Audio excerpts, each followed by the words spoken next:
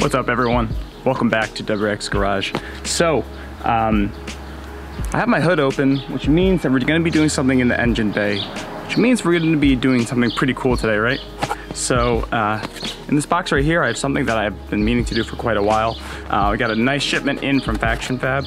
Um, we actually gave away one of these um, a while back.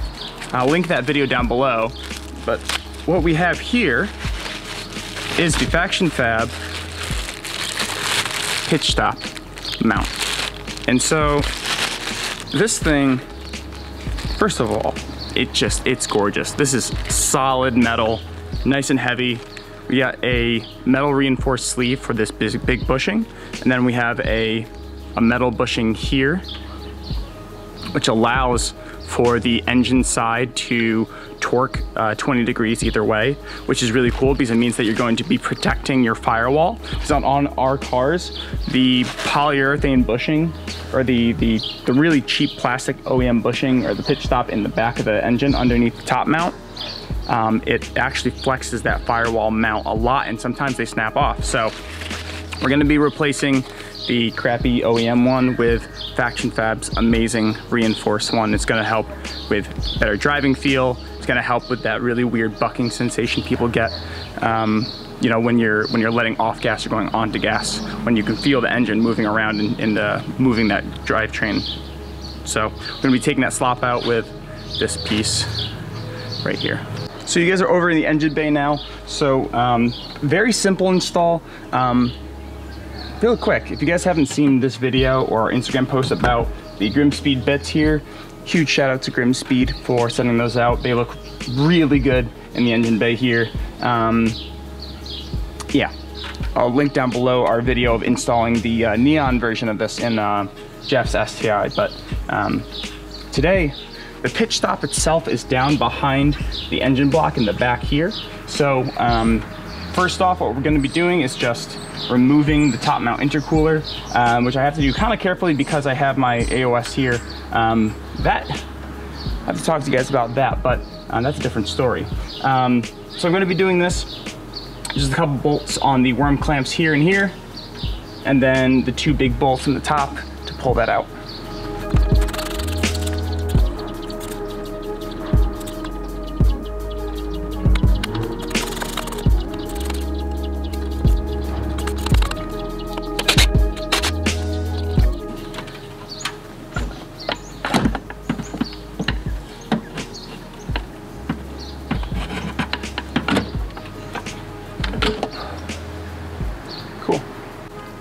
Intercooler is out.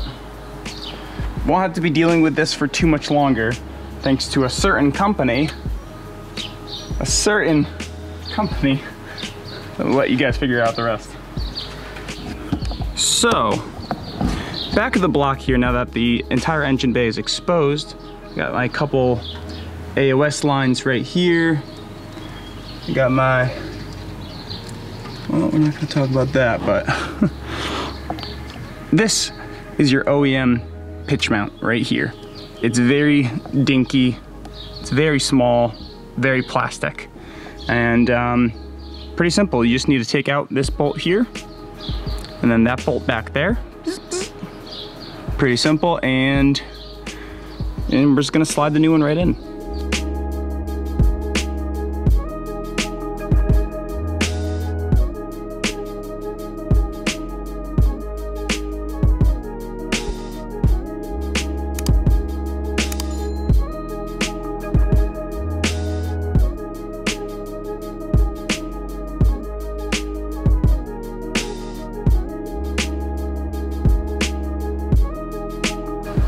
Simple. And there it is. So let's do a quick side to side comparison. And I'm gonna quote the, uh, the absolute classic here. Old and busted, new hotness. Old and busted, new hotness. I drive the new hotness. Old and busted, new hotness. New Faction Fab is going in. Um, I did add a little bit of lithium grease just on the ball to help it, uh, then he squeaks, and then on the backside to help it slide in there. But honestly, guys, it just, it fits up, it fits up perfectly. So I'm going right back in the OEM bolt.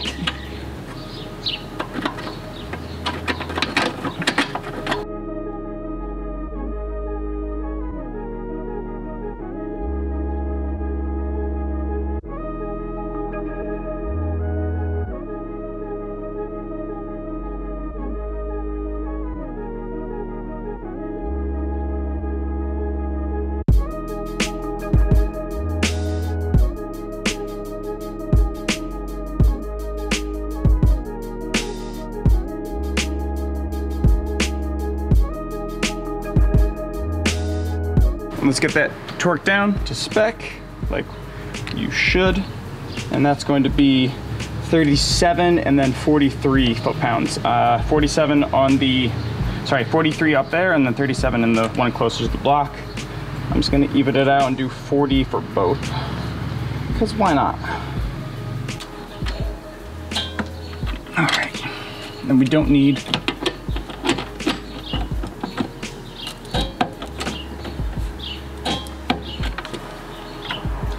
done and done. Hey guys, the uh, everything's buttoned back up. The uh, intercooler is back on. Um, one thing I wanted to talk to you guys about really quick um, that I mentioned before was with the AOS here. So this is the Crawford V3 AOS. If you haven't seen an install video, please go check it out. Um, with the plans that I have for this car, there's going to be something in the way right here that may or may not be a nice big red pipe from a certain company.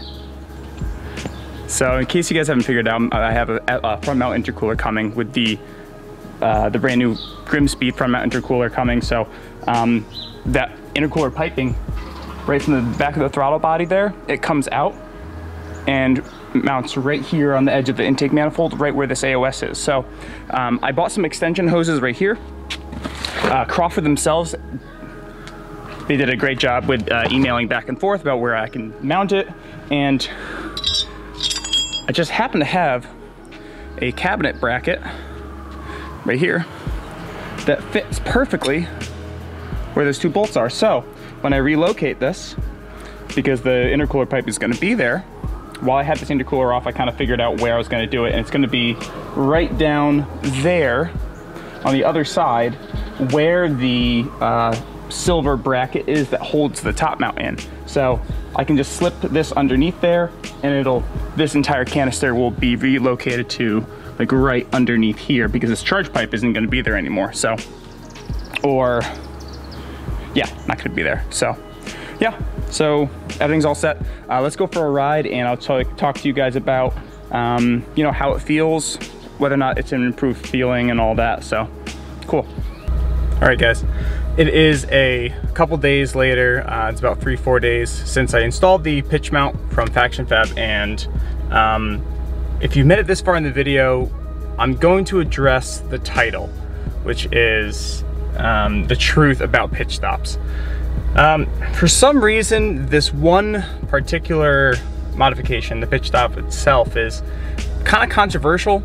Uh, if you look up uh, reviews for these online and forums, on YouTube. Um, there seems to be a lot of mixed reviews about some people like them, some people don't.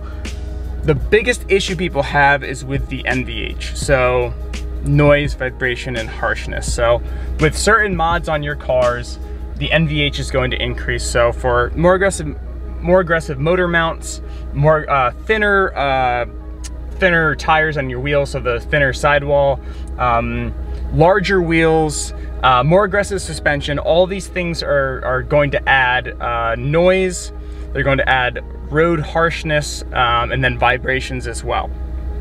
So with NVH on anything, there's obviously a payback. There is something that you're receiving in return for something that you maybe not like. So pretty much anything you do on their car, there's going to be a lot of uh, pros, but sometimes there are some cons.